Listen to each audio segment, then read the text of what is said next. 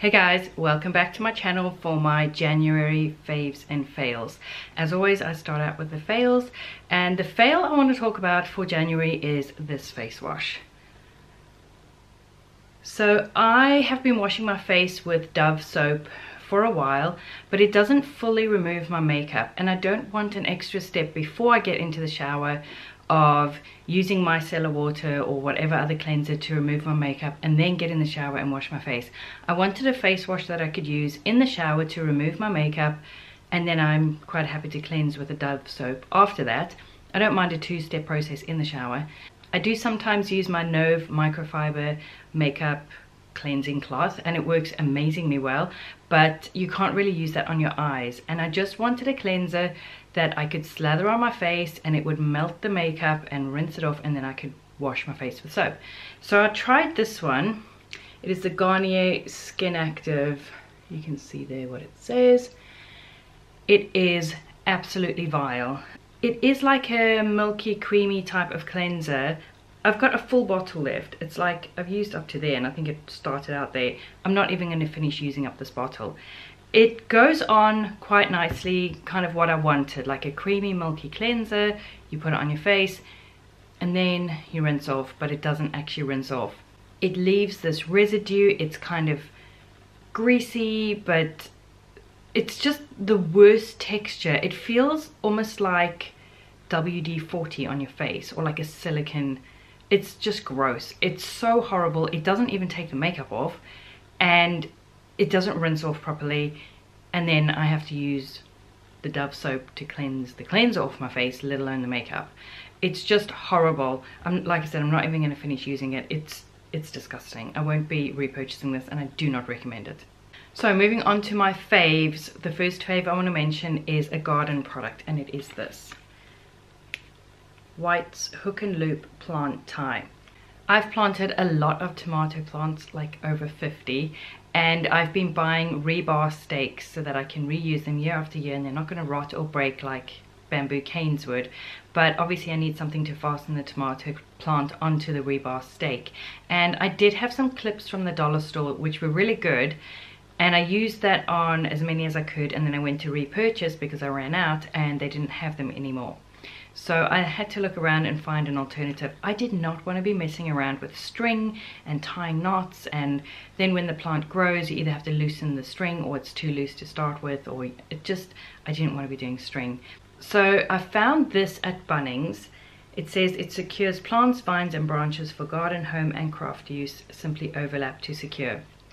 This was I think $7.99 and there's 7.6 meters on there. So it's basically velcro tape but it's so fine it's not like if you do that you can't it doesn't feel like velcro it doesn't feel like hooky. It feels a bit rough on that side and very smooth on that side.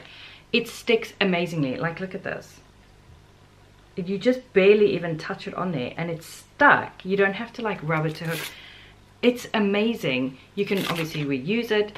So I just cut a piece wrap it around and fasten my tomato plants on when they die, when it's the end of the season, I can pull all of those little tape bits off and reuse them again. This stuff is so good and I think it would be so good for more uses than just staking your tomato plants.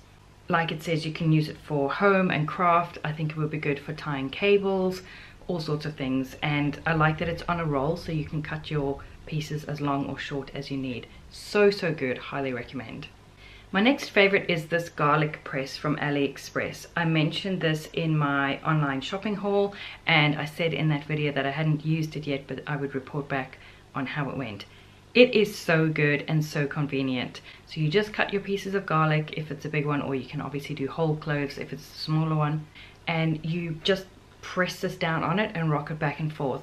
It shoves the garlic through the holes and minces it in one go. It's easy to clean because the holes are quite big, so you can just rinse it under the tap, put it in the dishwasher, or if they are a bit stuck, just a quick brush with a dishwashing brush and they come out. I like things that are just simple and they do their job well, and this is one of them. I usually feature a food or drink that I've been enjoying and in the month of January to drink I really enjoyed lemon balm tea This is a tea that is highly recommended by the medical medium. I read his liver rescue book and Grant and I actually did the 369 liver cleanse. And lemon balm tea featured quite heavily in that cleanse. We were having that every day. And it wasn't a chore to have it. I realized I was really really enjoying it and looking forward to it. I like it as much as I like peppermint tea. So that's something I've really been enjoying. We've gone through the whole box. They're just in these little packets. I've bought this on iHerb I will link it down below I haven't found it locally like a countdown. I haven't looked at Pack and Pak'nSave or the health food store, but I'm ordering fairly frequently from iHerb anyway, so I just pick it up there. For food, my favorite snack has been caramel apples. They're not really caramel apples. They are apples sliced with dates on them. And it is so delicious, especially if you do like a sour green apple like a Granny Smith. And then you have the sweet dates which taste like caramel so yummy. I've been enjoying that most afternoons. Around about four o'clock i need a bit of a snack just to carry me through to dinner. And it's refreshing it's crisp it's crunchy it's sweet. So enjoyable. Really been liking that snack. A song that i discovered in the month of January is by Rizzle Kicks and it's called Down with the Trumpets. And I just really enjoy it. I'd never heard that song before. Last month I talked about Michael McIntyre's Send to All section of his show that he does that I was enjoying watching on YouTube. And that's how I discovered the song. It was in one of those. And it's just got such a punchy beat and it's just fun. When I first heard it I thought oh Grant would enjoy the song because he likes a song with a strong beat. I just really enjoyed that song and I wanted to mention it as a favorite Okay, moving on to a couple of Rebalance products or products that I sell in my store. So after the face wash fail, I wanted to try a different face wash and we carry Dr. Bronner's products and they're very popular. So I decided to try this, which is the 4-in-1 Sugar Soap. This is the big one. We have a smaller size as well. It says on it for hands, face, body and hair so I thought I would try it as a face wash. I don't know why I was expecting a creamy cleanser, but it's actually, I don't know if it's to show. It's actually like this brown, almost syrupy liquid. I mean, it is genuinely a sugar soap. The ingredients are organic sucrose, organic white grape juice, organic coconut oil, organic palm kernel oil, potassium hydroxide, organic olive oil, organic tea tree oil, organic shikakai powder, organic hemp oil, organic jojoba oil, citric acid, and tocopherol. So it is all certified organic and natural and there's no nasty chemicals and that really appeals to me because I'm trying to give my liver a break. There are some things I'm not willing to give up, like wearing perfume occasionally or some of my cosmetics or doing my gel nail polish from AliExpress, which I'm sure is awful for me, and soaking it off with acetone. So while there aren't things I'm willing to give up just yet, I just thought if I go as natural and chemical free as possible, in other areas, it gives my liver enough of a break that it can cope with the things I'm not willing to give up. So that was one of my reasons why I wanted to try this. Also, I want to try the products that I sell. I don't just want to have them be a mystery and I sell them and I know nothing about them. So, put this into the shower. I chose the tea tree scent because I really like tea tree. I know not everybody does. It's kind of like a, a love-hate with the scent of tea tree, but I really like it. And tea tree is also good if you have any kind of acne or psoriasis or problems with your skin. So I put this in the shower and I thought I'll give this a go. I had a full face of makeup on and I squirted some in my hand and just like slathered it over my face. And then I rinsed my hands like before rinsing off my face and it felt almost a little bit oily and I was like oh I can't stand it when you rinse a product off and it leaves a residue I hate that so I kind of rinsed my hands and then I started rinsing my face. It washes off totally, like so cleanly that your skin is actually squeaky clean, like your fingers can squeak over your skin, but it doesn't strip your skin. It's got all these lovely natural oils in it, and sugar apparently is a natural humectant. It draws moisture into the skin.